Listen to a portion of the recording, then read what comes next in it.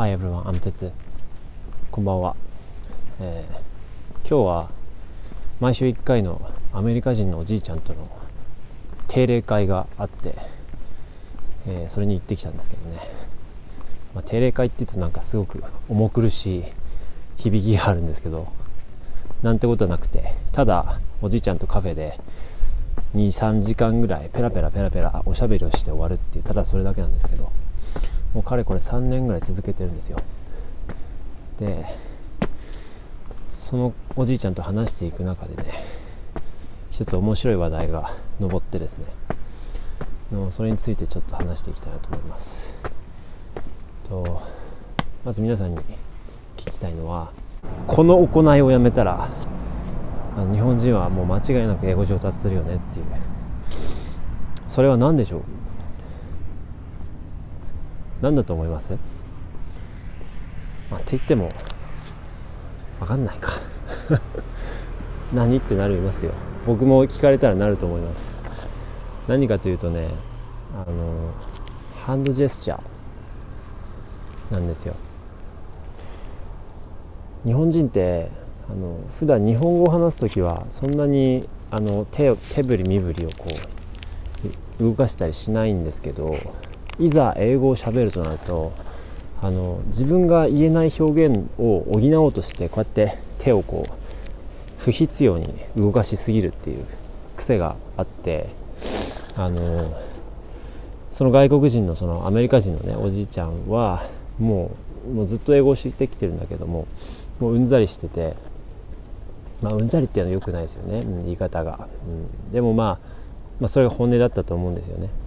もうそれが多すぎるから、うん、もうもうね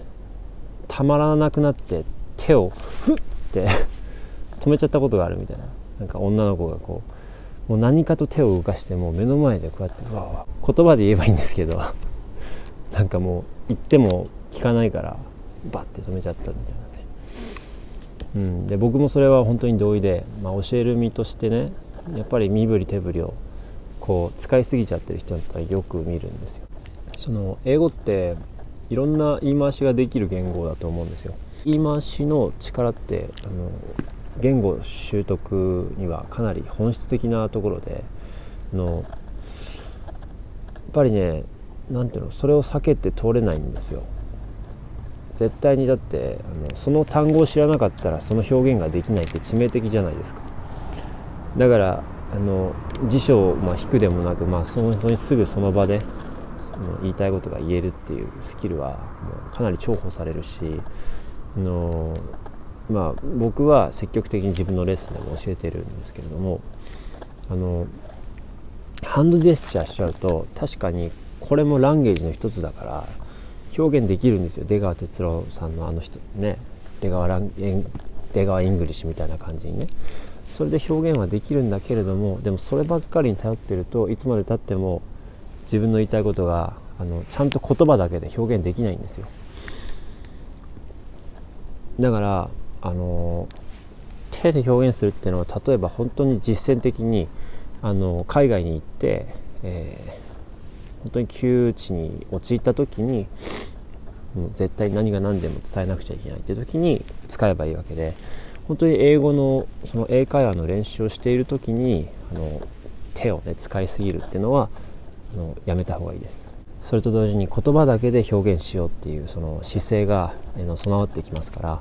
えーそのその力が備わってくるのを、まあ、じっくりと待ちましょう。そう。っていうのが言いたかったんですよね。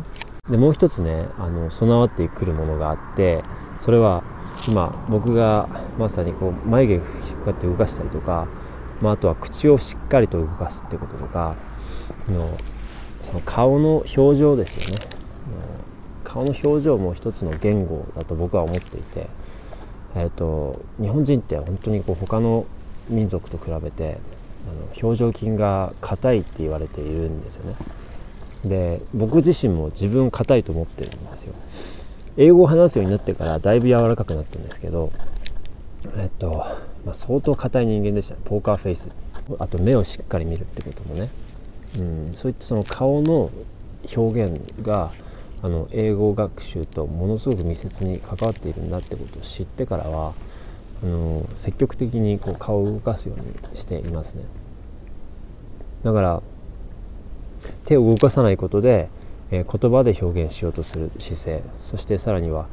目を見てちゃんと目で訴えるっていう。目だけじゃなくて口とか眉毛とか。で、えー、表現するっていう、力が備わってきますから。だからとにかく手を使いすぎちゃってるって自覚がある人はも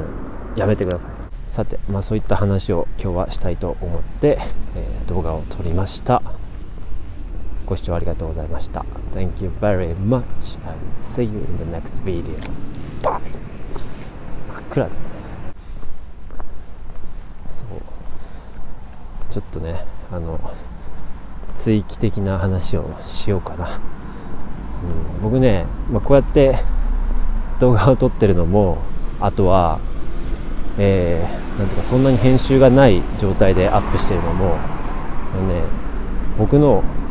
面倒くさがり屋な性格がもろに出てるんですよ。走ろうかな、ね、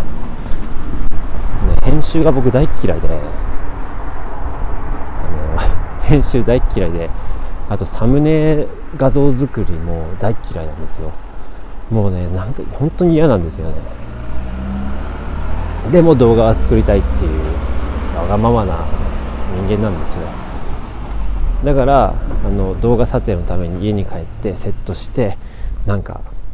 なんていうのいろいろ準備してさあ撮るぞって言って撮ることも、まあ、ちょっと面倒っていうかね時間かかるじゃないですか。だから帰り道にこうやってあのなんだろう駅から電車降りるまでに自分が何を言うかってことをあらかた頭の中で整理してそしてえー、マイクを取ってここに巻きついてるんですけど話し始めるっていうスタイルを、えー、ここ 数回分の動画でやってきたんですよね。で割とねそれが僕にとっては相性がいいなって思ってるのでこれからも同じような感じで動画を撮っていきたいなというふうに思ってます、うん、まあこのスタイルが気に入ってくれる人がどれだけいるのかはちょっと未だ未知数なんですけど僕はこのスタイルでやっていきたいと思います。何かこのテーマについて話してほしいとか質問したいこととかがあったら、えー、Twitter 下にリンクがあると思いますのでそこからリプライを送ってくれてもいいし、えー、動画のコメントを残してくださってもいいですのでもうそういったものが来たらもう僕すごく嬉しいのであのしっかりと返信しますから、えー、ぜひぜひ何かえー、僕の方に送ってくれればと思います。まあそんな感じで追記でした。じゃあまた次の動画でお会いしましょう。